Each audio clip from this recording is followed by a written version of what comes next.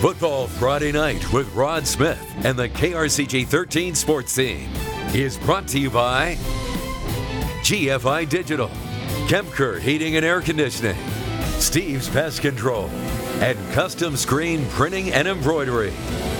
It's Football Friday night. Here's Rod Smith. Along with Tony Mullen. Good evening and welcome to a Football Friday night. Four high school games in Columbia this evening all delayed because of lightning. And Tony, uh-huh. you watched a good one, a showdown between Hickman and Helias once they got it started. Both yeah. coming off thrilling opening night. One wins. of the many delayed games tonight. Yeah, both of them big wins last Friday night. And one of these teams would start 2 0. Helias hasn't done that since 2014. Hickman, you got to go back a little ways to 2012. Kewpies finally playing in front of their home fans for the first time this season after a road trip last week and a 50 minute lightning delay tonight. Second straight road game for Helias after that win at Hannibal. It didn't take the Crusaders long. First possession of the game, Jake Weaver, the shovel pass to Blake Veltrop, and he'll do the rest. 48 yards to Pater, 7 0 Helias just 67 seconds into the game. Saders looking for more on the next possession, but how about some special teams? Kewpies come up with the blocked field goal, still 7 zip. Helias, though, with more offense. Second quarter, Weaver throwing it deep. He has Zach Ware on the receiving end.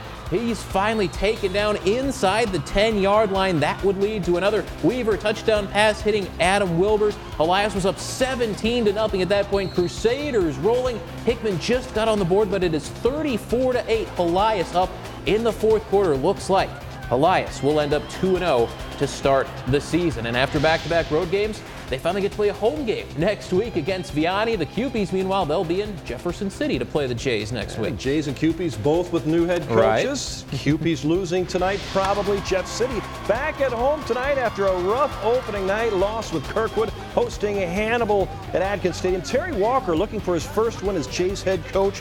Hannibal scored a first quarter touchdown, up 7 0. Jays' first points of the season come on the quarterback sneak. First Play the second quarter game tied 7-7. The rains would start to fall. Next Jaybird possession. Roberson in again on the keeper. Goes in from a yard out. Jays take their first lead of the season, 13-7. They go for two and they get it. Roberson to Levi Job make it 15 to 7 Jeff City. Hannibal though got a couple long touchdown runs from Damian French in the second quarter. The Pirates would go up 21-15 at halftime. Jaybirds though good halftime talk by Terry Walker back and forth in the second half. The Jaybirds would win this thing 30 to 27. First victory for Terry Walker. Jays are 7 and 7. Hannibal 0 and 2 against Jefferson City teams. Back to Columbia. Weather delay for 30 minutes. The Rockbridge Bruins opening the home season against DeSmet after an impressive win over Rockhurst last week. Rockbridge defense causing the fumble. Martez Manuel with a hit. David Geismers recovers, but the Bruins couldn't get the offense going early. DeSmet did. Nate Martins hits Jordan Johnson. This play is 86 yards and a touchdown pass for DeSmet.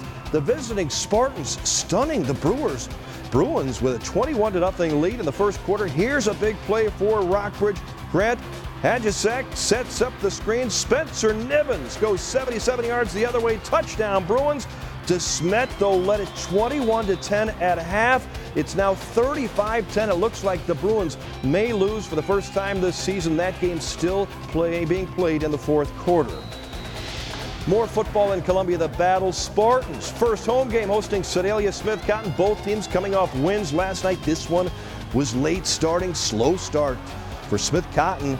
Stops battle here. Spartans opening drive as they try to convert on a fourth down. Battle cheerleaders getting into it. Jaron Lewis able to break free up the middle, 17 yard run, but Battle trails in this game. Justin Conyers' team looks like they will go down to defeat 32 16. The score right now in the fourth quarter at Battle High. Meanwhile, Camdenton wins for the second straight week. A big one over Parkview, 44 to 6. The Lakers go 2 0.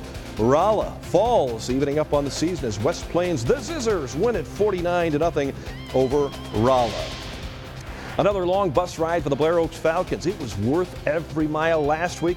And it was again tonight. Big win over the defending state champions from Maryville. Great way to start the new Ted LePage era. Blair Oaks traveling west again this week to Oak Grove High School near Kansas City.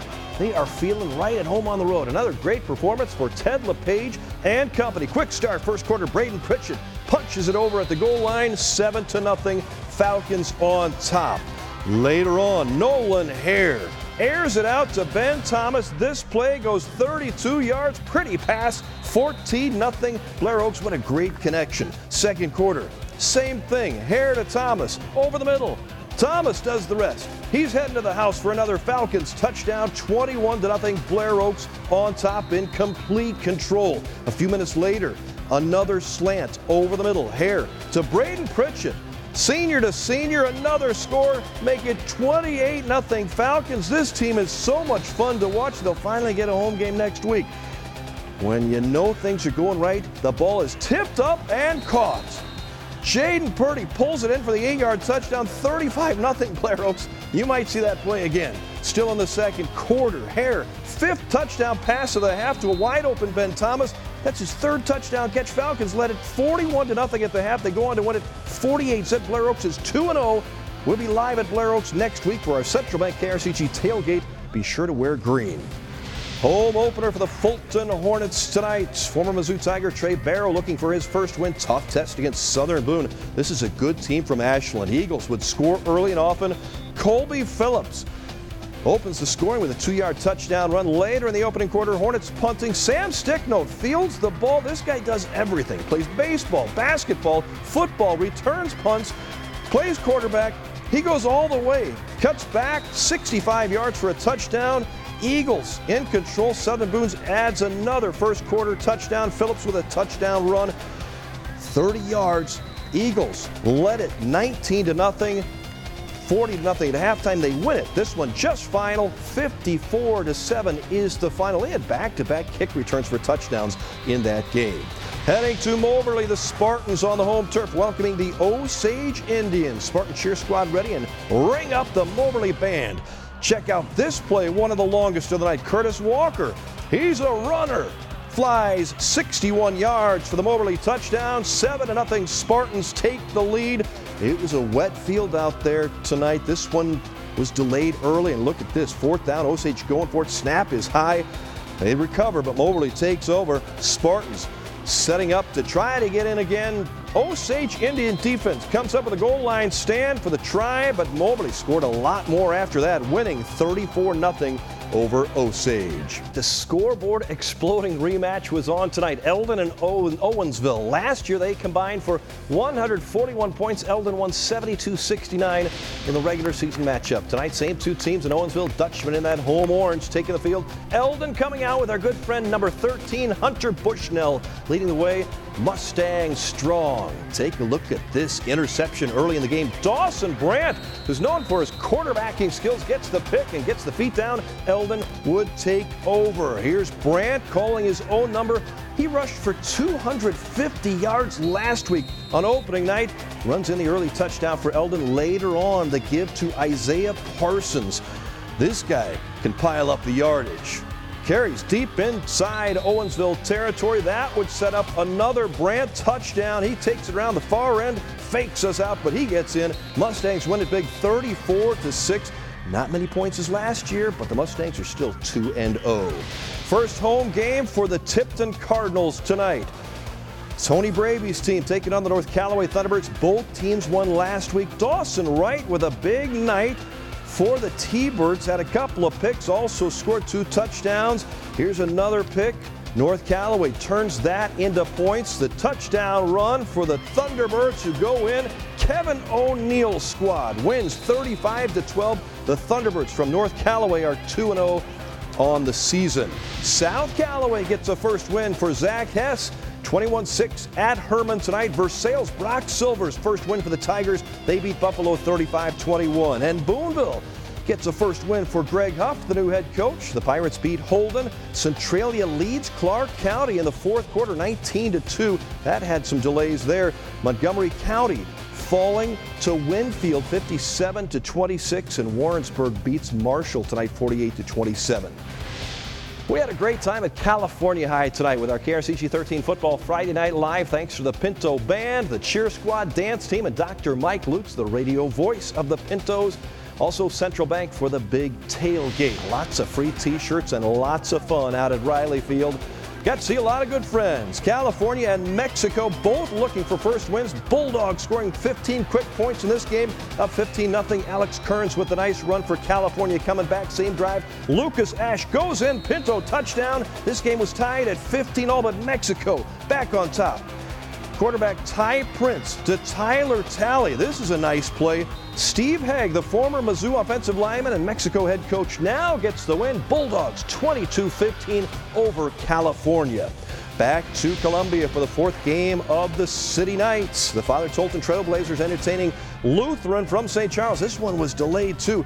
Tough night for the Blazers. Robert Hunter finds Ben Breitweiser on the pass play, but too much Lutheran St. Charles. They put up some big numbers tonight. It was 34 0 at halftime. Tolton falls 40 to 18.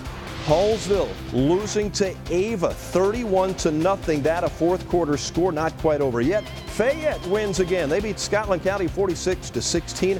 Harrisburg trailing in the fourth quarter to Schuyler County. They had delays there. Paris wins a ball game over Salisbury 14 to 12. St. James loses to Perryville, Louisiana falling to Van Far as the Indians win, and Slater goes to overtime. Slater beats Polo 14 to 8 and Steve's Pest Control Defensive Pest of the Night. Something completely different this week. Dr. Larry Linthacum, former Mizzou Tiger tight end, working the slingshot t-shirt launcher. Look at that fly into the crowd. With some very able assistants, Gary Verslois and Bob James, Jeff City administrators hard at work, our pests of the week.